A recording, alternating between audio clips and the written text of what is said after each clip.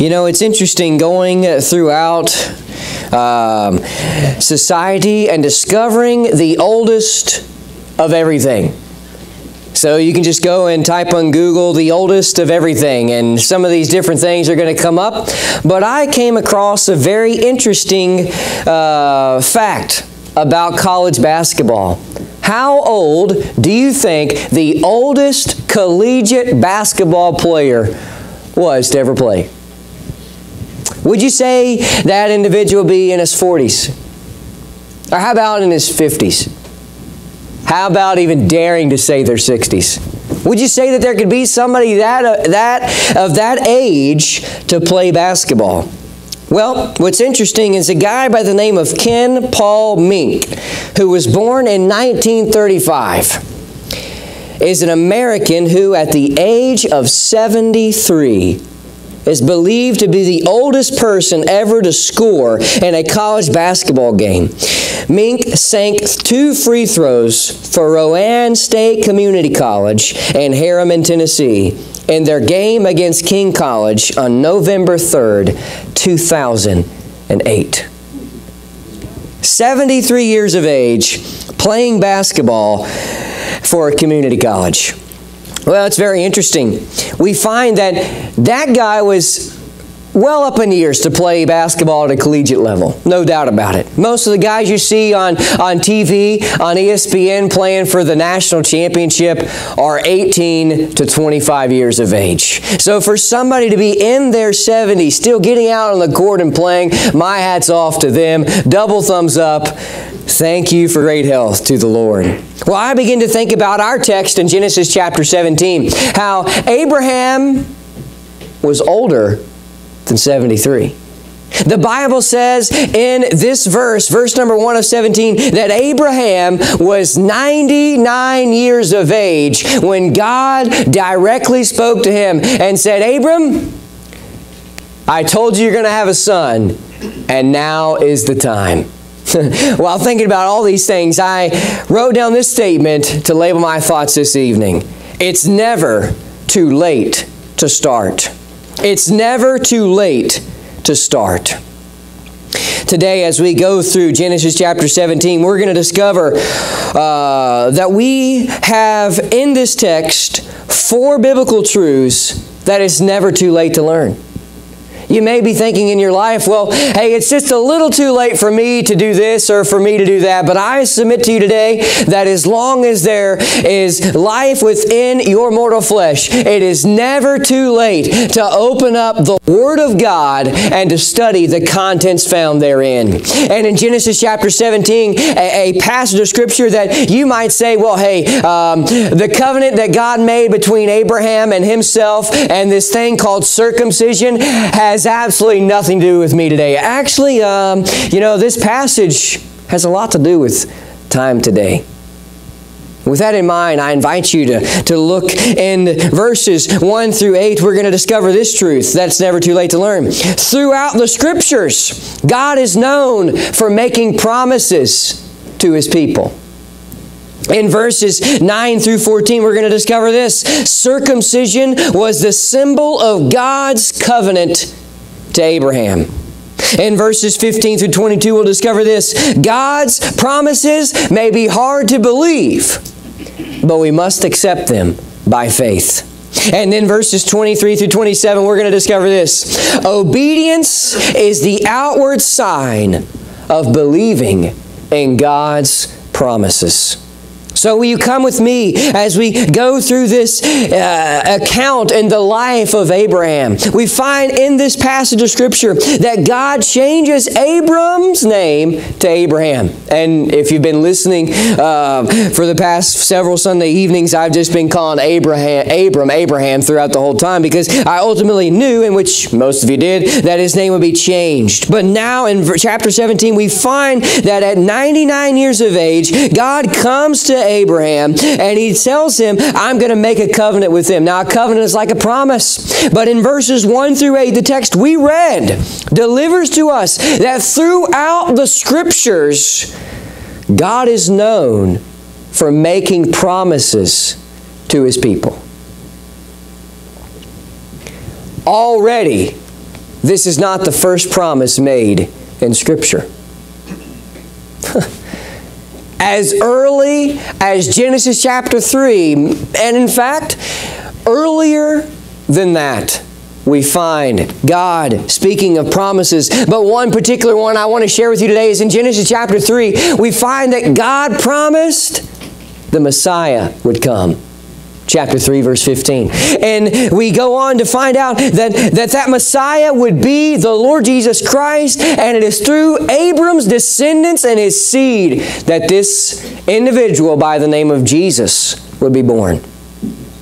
We go on through the book of genesis and we find that, that god promised by putting a rainbow in the clouds never to destroy this world again with a flood we find already God making promises early in the book of Genesis. And I submit to you today that, that throughout the entire Old and New Testaments, God is a promise making God. In the Old Testament, we discover that God makes promises in His law. And He says that, hey, I am going to provide me a son. In fact, Genesis 22, God promises about how He is going to provide a lamb, speaking of Jesus Christ. And that lamb was slain on the cross of Calvary for you and for me. And now we can receive the great promise of salvation found in Jesus Christ. God's promises are found throughout the Scriptures. Notice where the Bible goes in to say in verse 2 of this chapter. It says, And I will make my covenant between me and thee, and will multiply thee exceedingly. Now you got to understand just a few seconds here. Abram, Abraham is 99 years of age. The last time I checked, that's older than any of us in here this evening. If I'm mistaken, feel free to correct me after the service. Uh, but, but to my knowledge, nobody in this auditorium or assembly this evening is 99 years of age or older. And here we find that God looks to Abraham and says, I am going to make you a promise. And so Abram does what many of us should do humble ourselves and fall on our faces to the God who created us. The Bible says in verse 3 Abram fell on his face, and God talked with him, saying, Now I need to say this that God no longer talks to you and to me like he talked to Abraham. Because God has given us his full revelation of the Word of God. And so now when this when these crazy people get on television and said, God told me this and God told me that, they're just a bunch of uh, crazy people who don't understand the Word of God.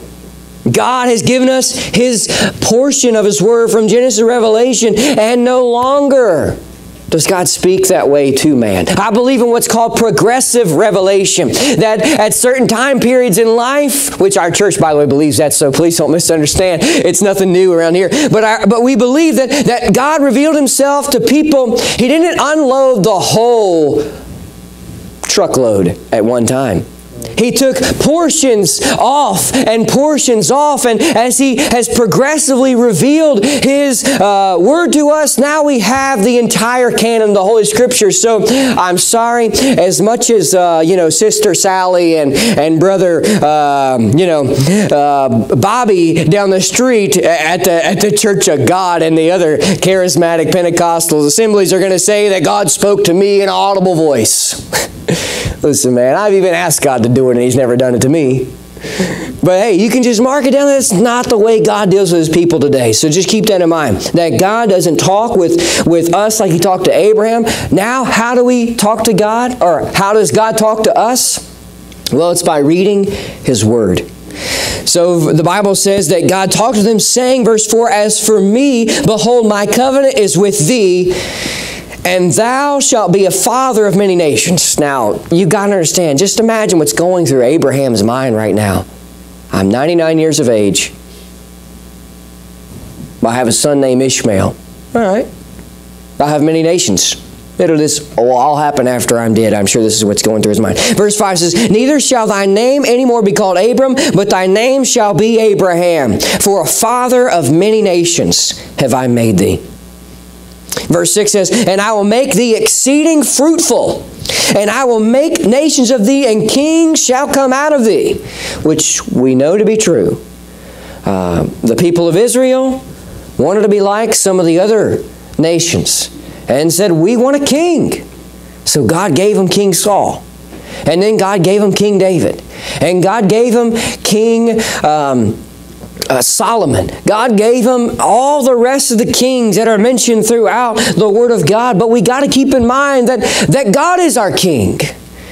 And that those types of governments just mimic the way God rules and reigns within his universe. He is king and he is on his throne. So he goes on to say in verse 6 And I will make thee a fruitful, and will make nations of thee, and kings shall come out of thee. And the greatest king came out of him, his seed, King Jesus. Verse 7 And I will establish my covenant between me and thee, and thy seed after thee, and their generations for an everlasting covenant. So this covenant is eternal and it's never going to end.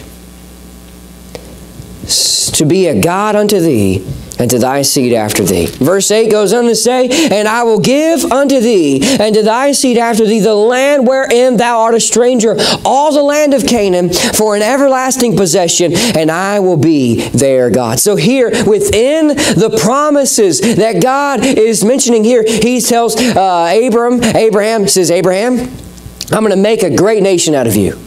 He pr promises that. He says, Abraham, um, you're going to have a lot of people that's going to come out of your uh, out of your nation. You're going to have kings that's going to come out. But then also, Abraham, I'm going to give you a certain portion of land.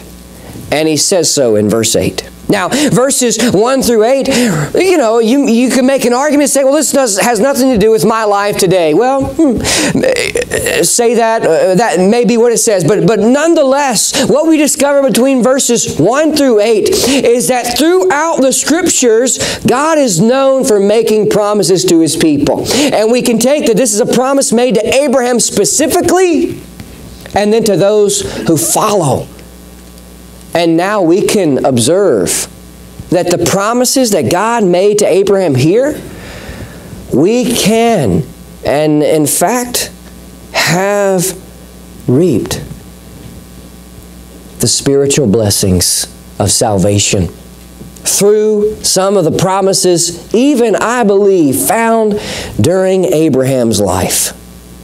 Now, verses 1 through 8 teaches throughout the scriptures, God is known for making promises to his people. It is never too late to learn that truth. But may I share you something, uh, something else with you this evening? It is never too late to learn this. In verses 9 through 14, we discover circumcision was the symbol of God's covenant to Abraham.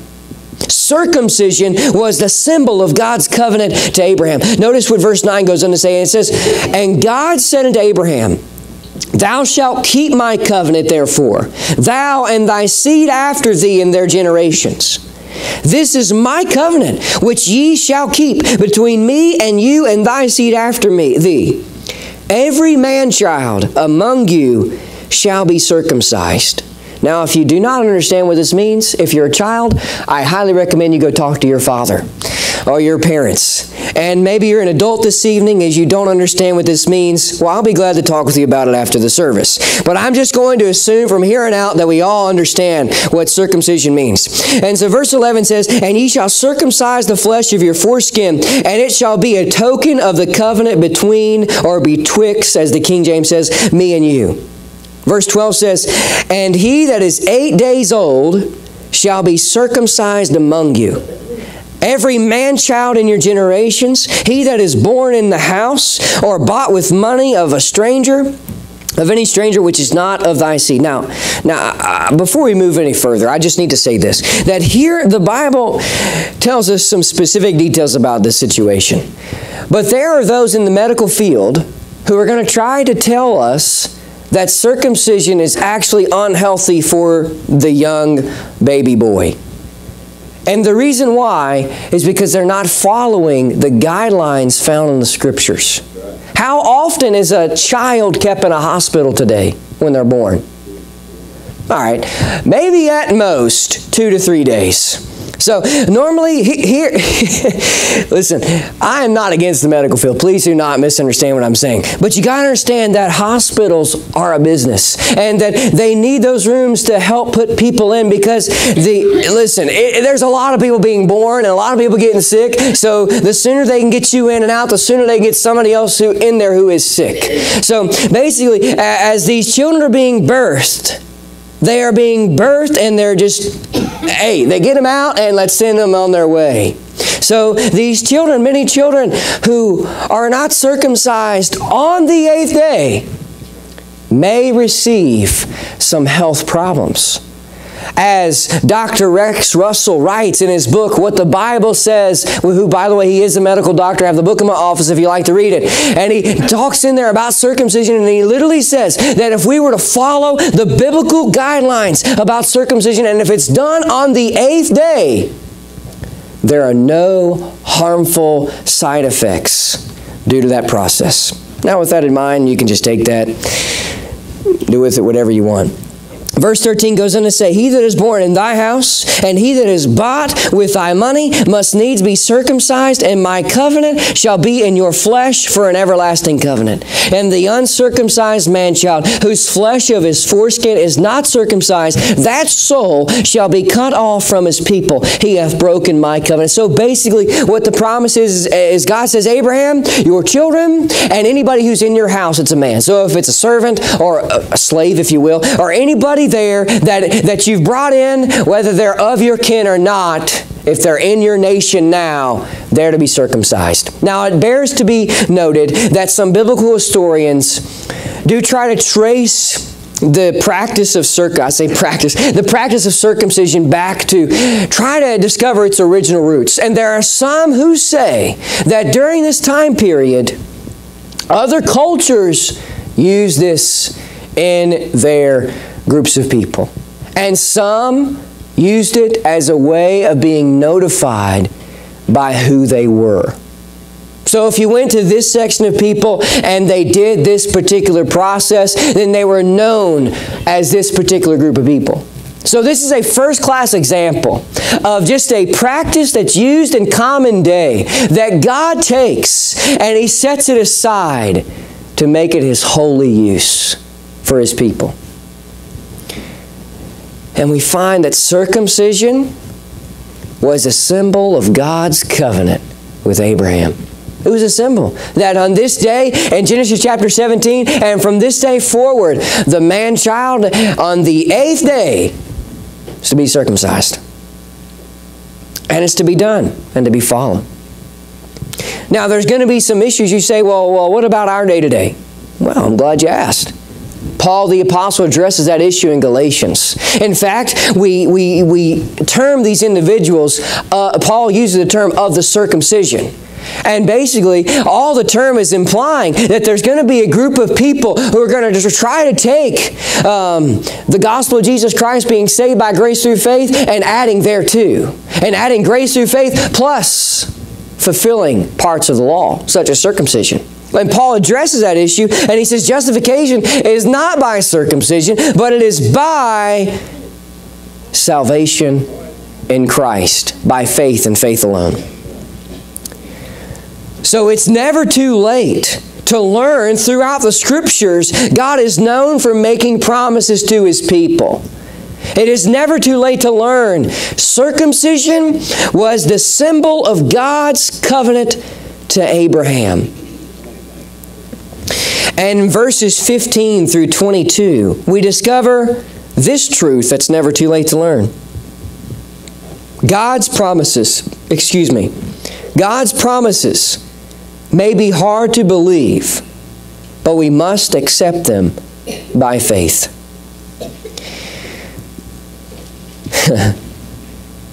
now we've discussed, God promised He's going to make a great nation of Abraham. He's going to have kings come out of of, of this of this promise. It's gonna gonna have all this different different stuff, and then the circumcision aspect that hey, this is part of the promise that you're fulfilling with me. And then he goes in and to discuss another promise, which the reaction behind Abraham was very interesting to read. Look at verse 15. It says, And God said to Abraham, As for Sarai thy wife, thou shalt not call her name Sarai, but Sarah shall her name be. And I will bless her and give thee a son also of her. Yea, I will bless her, and she shall be a mother of nations. Kings of people shall be of her. Then Abraham fell on his face and laughed and said in his heart, so he didn't speak out loud, he says, Shall a child be born unto him that is an hundred years old? And Sarai, shall Sarah that is 90 years old bear? Now, I've shared this before, but what's interesting, you know, you can go online and you can type the oldest of everything. You can do it. And, uh, you know, the oldest person to ever, uh, that is recorded in modern history, to ever give birth to a child is a lady by the name, I'm probably not pronouncing this right, so I'm very sorry to this lady. But uh, Raja Devi Lohan became the oldest person to ever give birth to a child at the age of 70. For some of you ladies who may be around that age this evening, could you imagine giving birth to a child? May God have mercy on you if that happens. I'll be there to pray for you. Anyways, so we find that it is physically possible for this to occur, which, by the way, according to the Bible here, uh, all right, listen. There's ladies who have given birth much older than that. Before the flood, people lived to be way, well older than 90 years old. But we find that Sarah was 90 years old and Abraham is just falling on his face and he's laughing at this. And in his heart he says, shall, shall me at 100 years old have a son? And is Sarah, who's 90 years old, going to give birth to a child? In verse 18, Abraham said unto God, Oh, that Ishmael might live before thee. Now you got to keep in mind, God's original plan for people is one man and one woman. And in the previous chapter, we find the issue of polygamy. And God's blessing is not on that. And here we find that Abraham is just reaching out to God and says, God, why would you just use Ishmael? I mean, this is my son. Just, just, this is my son. Just use him. But notice, notice how God responds. God said, Sarah thy wife shall bear thee a son indeed, and thou shalt call his name Isaac, which, by the way, means laughter. very, very funny, and the irony in the story is very interesting. And he says, And I will establish my covenant with him for an everlasting covenant, and with his seed after him.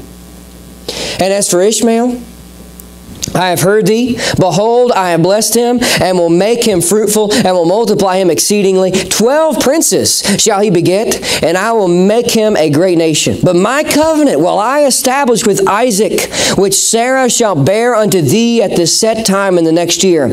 And he left off talking with him, and God went up from Abraham. Now, I just want to pause just for a moment and, and say that concerning Ishmael, Obviously, Ishmael grew up in what we call a Jewish home, beginning right here. And he understood the law of God and, and these different things. But some commentators have come and, and said that through his descendants, some of them began to stray away from God. Perhaps it was jealousy over this issue. We don't really know for certain. But, but, but the Arabian culture and groups, a lot of historians believe, can be traced back to Ishmael and Ishmael's descendants. Not the belief of the Islamic belief, but the Arabian culture. And I submit to you today that at one time the Arabian culture had the Word of God. But they chose to at some point reject it and adopted religious beliefs such as um, Islam and, and just to name one for an example. And God tells us here that, hey, his covenant would be with Isaac, not with Ishmael, most likely because it wasn't done in a proper manner. God wanted everything to be done right. And he says that my covenant is with and through Isaac. now brings me to this point. God's promises may be hard to believe, but we must accept them by faith. Just imagine you're 99 years of age. Your wife, that is for you men, and your wife is 90 years of age. And God comes and speaks to you and says, So and so, says your name, you're going to have a son. wow. Listen, we would all be like Abraham and, and laugh and be like, this is, the, the only way I'll believe this is if I see it. Well, listen, later on, they see the promise in flesh. But I, as we come to the New Testament, listen, th- there's some hard things to, that, that, God has promised to us. Listen, there's some hard things to believe in the New Testament. I can't fully wrap my mind around eternity. I can't wrap my mind around the mercy and grace of God and the fact that, that God loves me, even though I am yet a sinner and will continually to be a sinner till the day I die. But God says, hey, I've redeemed you by my precious blood. And you're going to enter into heaven. That's hard for me to believe because I realize I deserve hell. But hey, we have to accept them by faith. So, hey, just as Abraham had a promise from God, he, he found it hard to believe. We have promises found in the New Testament that can be challenging to believe, but it's time for us to accept them by faith. Because without faith, it is impossible to please God. Hey, it's never too late to learn. Throughout the scriptures, God is known for making promise to his people. It's never too late to learn circumcision was God's symbol of his covenant to Abraham. It's never too late to learn. God's promises may be hard to believe, but we must accept them by faith. But now let me share with you in verses 23 through 27, we see a drastic transition from, from Abraham, who, who fell upon his face, began laughing, and said in his heart, Am I going to give, am I going to have a child at 100 years old and my wife Sarah is 90 going to have a son? Transitions to obedience. Just like that. Verse 23 and following speaks of Abraham's obedience, and it's never too late to learn this fourth and final point. Obedience is the outward sign of believing God's promises. Obedience is the outward sign of believing God's promises. How did Jesus say it? He said, If you love me, keep my commandments. And here's what Abraham did here Abraham took Ishmael his son, and all that were born in his house, and all that were bought with his money, every male among the men of Abraham's house, and circumcised the flesh of their foreskin in the selfsame day, as God had said unto him. And Abraham was 90 years old and nine when he was circumcised in the flesh of his foreskin. And Ishmael, his son, was 13 years old when he was circumcised in the flesh of his foreskin. In the self same day was Abraham circumcised and Ishmael, his son. And all the men of his house born in the house and bought with money of a stranger were circumcised with him. We discover here obedience is the outward sign of believing in God's promises. So as we look at this text, yeah, none of us are 99 years of age with a, with a 13 year old son. I mean, just imagine being a senior citizen and having a teenager as a son. Just imagine that. Just imagine being 100 years of age and your wife giving birth to a new son. Or just imagine being 99 years of age and going through the process of circumcision, where you remember all about it, especially the pain and everything. And I'm here to say this that all of this demonstrates, this, this is found in the Word of God, and it demonstrates Abraham's belief in God's promise and his obedience. So, I have to say this. If Abraham can be obedient to the promises God gave to him in Genesis 17, is it too much to ask for us to be obedient to the New Testament promises given by Jesus Christ. Listen, it's never too late to begin to be obedient.